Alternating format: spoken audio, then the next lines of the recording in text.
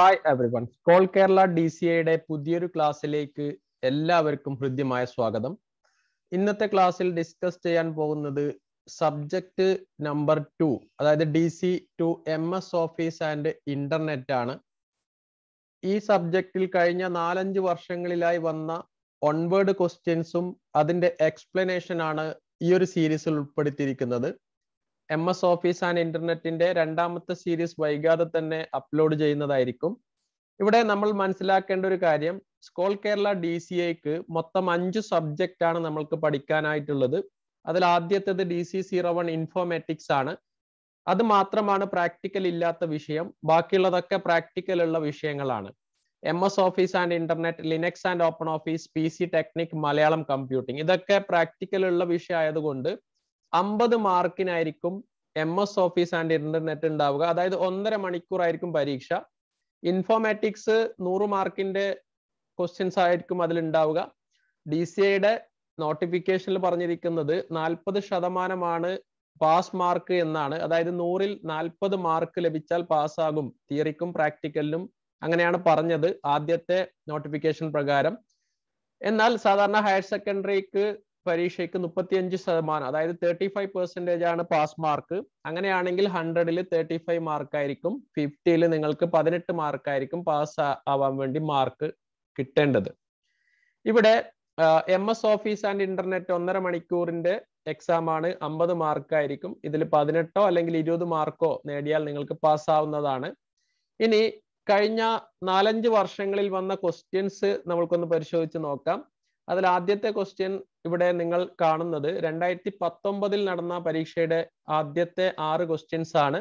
അതായത് ഓരോ ക്വസ്റ്റ്യൻസിനും ഒരു മാർക്ക് വീതം ആറ് മാർക്കിന്റെ ക്വസ്റ്റ്യൻ ആയിരിക്കും ആദ്യത്തെ സെക്ഷനിൽ കാണുക.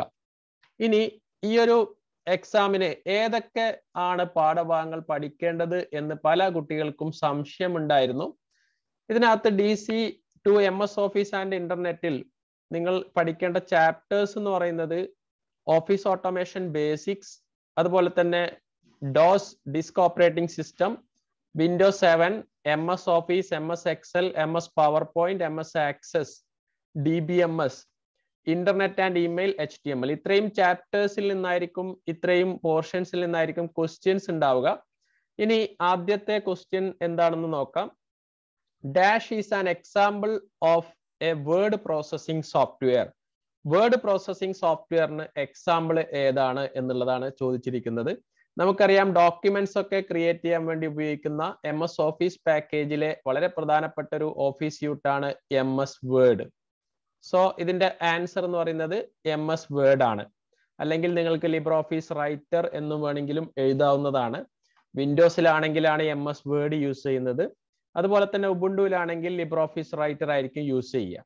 Second question intersection of rows and columns are called dash അതായത് എക്സൽ എന്ന് പറയുന്ന അപ്ലിക്കേഷനിൽ ഒരുപാട് ബോക്സുകൾ നമ്മൾക്ക് കാണാൻ സാധിക്കും. Rows and columns number of rows and columns ആയിരിക്കും ഉണ്ടാവുക.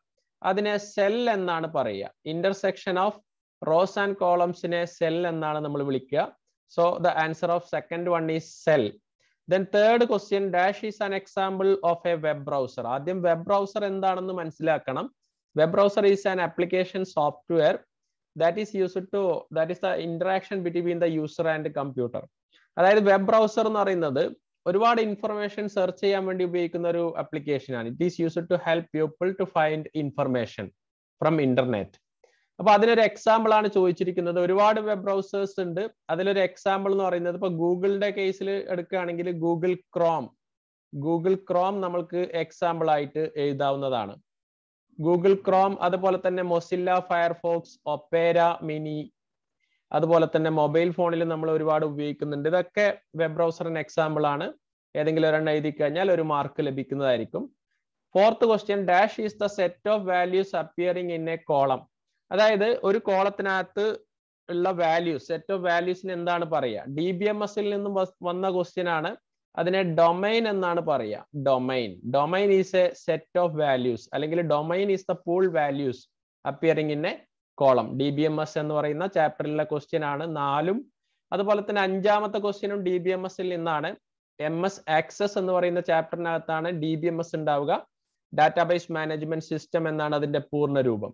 Dash is the rows in a relation അതായത് ഒരു റിലേഷനകത്ത് റോസിനെ വിളിക്കുന്ന പേരെന്താണ്?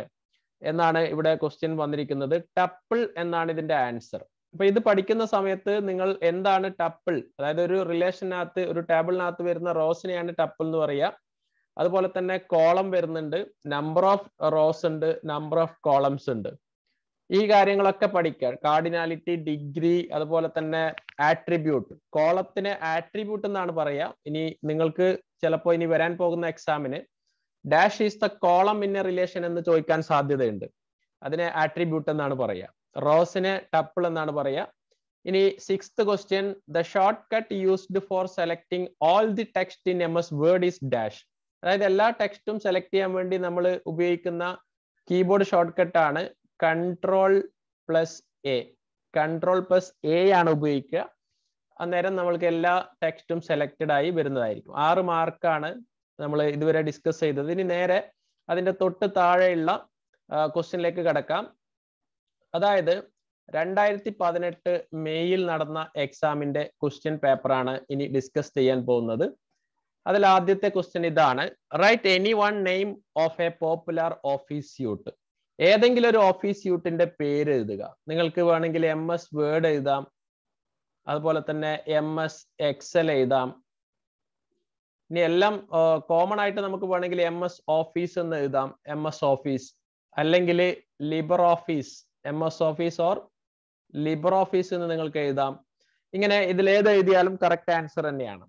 Second question name of the application which is current running is displayed on the windows അതായത് നിങ്ങൾ എന്തെങ്കിലും ഒരു വിൻഡോ ഓപ്പൺ ചെയ്ത് കഴിഞ്ഞാൽ കറന്റ് റൺ ചെയ്തിരിക്കുന്ന വിൻഡോ എവിടെയായിരിക്കും അത് ഡിസ്പ്ലേ ചെയ്യുക എന്നുള്ളതാണ്. ടാസ്ക് ബാറിലായിരിക്കും അത് ഡിസ്പ്ലേ ചെയ്യുക. നമ്മൾ കോമ്പണൻസ് ഓഫ് വിൻഡോസ് എന്ന് പറയുന്ന ചാപ്റ്ററിനകത്ത് പഠിക്കുന്നതാണ്. ടാസ്ക് ബാറിലായിരിക്കും നമ്മൾ ഓപ്പൺ ചെയ്ത വിൻഡോസ് ഒക്കെ കാണുക. Then third question formulas are always start with dash in Excel എക്സലിനകത്ത് formula ഒക്കെ സ്റ്റാർട്ട് ചെയ്യുന്നത് ഈക്വൽ ടു വെച്ചിട്ടാണ്. ഒരുപാട് ഫോർമുല നമുക്ക് പഠിക്കാനുണ്ട്. സ്റ്റാറ്റിസ്റ്റിക്കൽ ഫംഗ്ഷൻ ഉണ്ട്. അങ്ങനെ ഒരുപാട് ഫംഗ്ഷൻസ് ഉണ്ട്. ഉദാഹരണത്തിന് സം ആണ് കണ്ടുപിടിക്കേണ്ടതെങ്കിൽ ഈക്വൽ ടു സം ബ്രാക്കറ്റിനകത്ത് റേഞ്ച് ഓഫ് സെല്ലാണ് നമ്മൾ എഴുതുക. ഏതാണോ റേഞ്ച് അത് എഴുതുക. ഓക്കെ അപ്പൊ ഇതിന്റെ ആൻസർ എന്ന് പറയുന്നത് ഈക്വൽ ടു സൈൻ ആണ്. Then fourth question dash is an example of presentation software presentation സോഫ്റ്റ്വെയറിന് example ആണ് M S power point M S power point presentation സോഫ്റ്റ്വെയറിന് example ആണ്. Then dash is the rows in a relation ഇത് വീണ്ടും repeat ചെയ്തിരിക്കുകയാണ്. നേരത്തെ D B M S എന്ന് വന്ന question ആണ്. Tuples ആണ്. ടപ്പിൾസിനെയാണ് നമ്മൾ റോസ് ഇൻ എ റിലേഷൻ എന്ന് പറയുക then an example of R D B M S R D B M S എന്ന് വെച്ചാൽ റിലേഷണൽ ഡാറ്റാബേസ് മാനേജ്മെന്റ് സിസ്റ്റം എന്നാണ്. അതിന് ഒരുപാട് എക്സാമ്പിൾസ് ഉണ്ട്. ഒറാക്കിൾ അല്ലെങ്കിൽ മൈ എസ് ക്യു എൽ ഇതൊക്കെ ആർ ഡി ബി എം എസിന് എക്സാമ്പിൾ ആണ്. ഇത്രയാണ് ആ വർഷത്തിൽ വന്ന ക്വസ്റ്റ്യൻ ഇനി രണ്ടായിരത്തി പതിനേഴിലേക്ക് കടക്കുകയാണെങ്കിൽ രണ്ടായിരത്തി പതിനേഴ് ജൂണിൽ വന്ന ഒരു ക്വസ്റ്റ്യൻ ആണ് നമ്മളിപ്പോൾ ഇവിടെ ഡിസ്കസ് ചെയ്യാൻ പോകുന്നത്. രണ്ടായിരത്തി പതിനേഴ് ജൂണിൽ വന്ന ക്വസ്റ്റ്യൻസ് ഏതൊക്കെയാണെന്ന് നോക്കാം. അതിൽ ആദ്യത്തതാണ് the expansion of H T M L is dash H T M എല്ലിന്റെ പൂർണരൂപം എന്താണ്? ഹൈപ്പർ ടെക്സ്റ്റ് മാർക്കപ്പ് ലാംഗ്വേജ് ആണ്. ഹൈപ്പർ ടെക്സ്റ്റ് മാർക്കപ്പ് ലാംഗ്വേജ് ആണ് അതിന്റെ പൂർണരൂപം. എന്തിനാണ് H T M L use ചെയ്യുന്നത്? H T M L is use to develop web pages web page design ചെയ്യാൻ വേണ്ടിയിട്ട്. വെബ് പേജ് ഉണ്ടാക്കാൻ വേണ്ടി ഉപയോഗിക്കുന്ന ലാംഗ്വേജ് ആണ് അല്ലെങ്കിൽ ഇന്റർനെറ്റിന്റെ ലാംഗ്വേജ് ആണ് എച്ച് ടി എം എൽ എന്ന് പറയുന്നത്. ക്ലിയർ ആയല്ലോ? Second one dash command is used for creating a new directory in M S DOS അതായത് ഡിസ്ക് ഓപ്പറേറ്റിംഗ് സിസ്റ്റം എന്ന് പറയുന്ന ചാപ്റ്ററിനകത്ത് ഒരുപാട് ഡോസ് കമാൻഡ്സ് പഠിക്കാനുണ്ട്. ആ ചാപ്റ്ററിൽ ഏറ്റവും അവസാനത്തിൽ അതിന്റെ സമ്മറി കൊടുത്തിട്ടുണ്ട്. ഏതൊക്കെയാണ് ഡോസ് കമാൻഡ്സ് ആ ഡോസ് കമാൻഡ്സ് മൊത്തം പഠിച്ചു വെക്കുക. ഇവിടെ ന്യൂ ഡയറക്ടറി ക്രിയേറ്റ് ചെയ്യാൻ വേണ്ടിയിട്ട് M K D I R ആണ് യൂസ് ചെയ്യുക. M K D I R is the command that is used for creating new directory M K D R എന്ന് വെച്ചാൽ മേക്ക് ഡയറക്ടറി എന്നാണ് അതിന്റെ പൂർണ രൂപം. Third question dash is an example of web browser വീണ്ടും repeat ചെയ്തിരിക്കുകയാണ്. ഇവിടെ നമുക്ക് വേണമെങ്കിൽ മൊസില്ല ഫയർഫോക്സോ അല്ലെങ്കിൽ ഇന്റർനെറ്റ് എക്സ്പ്ലോററോ എഴുതാവുന്നതാണ്. ഇന്റർനെറ്റ് എക്സ്പ്ലോറർ ആണ് വിൻഡോസിൽ ഡീഫോൾട്ട് ആയിട്ട് വരുന്ന വെബ് ബ്രൗസർ എന്ന് പറയുന്നത് ഇന്റർനെറ്റ് എക്സ്പ്ലോറർ ആണ്. ഇനി fourth one the short cut used for selecting all the text അതായത് കൺട്രോൾ പ്ലസ് എ ആണ് ഇവിടെ യൂസ് ചെയ്യുന്നത്. എല്ലാ ടെക്സ്റ്റും സെലക്ട് ചെയ്യാൻ വേണ്ടിയിട്ട്. Then the intersection of rows and columns create box is called cell cell എന്നാണ് അതിനെ വിളിക്കുക. ഇന്റർസെക്ഷൻ ഓഫ് റോസ് ആൻഡ് കോളംസിനെ എക്സലിനകത്ത് നമ്മൾ സെൽ എന്നാണ് വിളിക്കുക.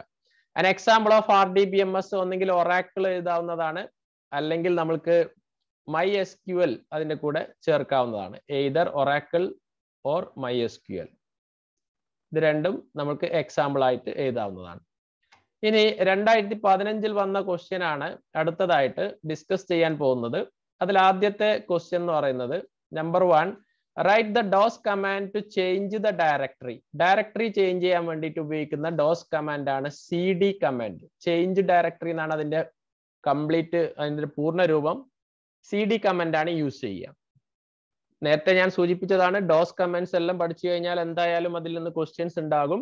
ഇനി second question dash is use to manage files folders and programs on Windows operating system Windows Explorer ആണ് അതിന്റെ ആൻസർ വിൻഡോസ് എക്സ്പ്ലോറർ ആണ് ഒരു ഹൈറാർക്കിക്കൽ ട്രീ ആയിട്ട് യൂസ് ചെയ്യുന്നത്. വിൻഡോസ് എക്സ്പ്ലോറർ ഉപയോഗിച്ചുകൊണ്ട് നമ്മൾക്ക് നമ്മുടെ സിസ്റ്റത്തിലുള്ള എല്ലാ ഫയൽസും എല്ലാ ഫോൾഡേഴ്സും മാനേജ് ചെയ്യാൻ പറ്റും.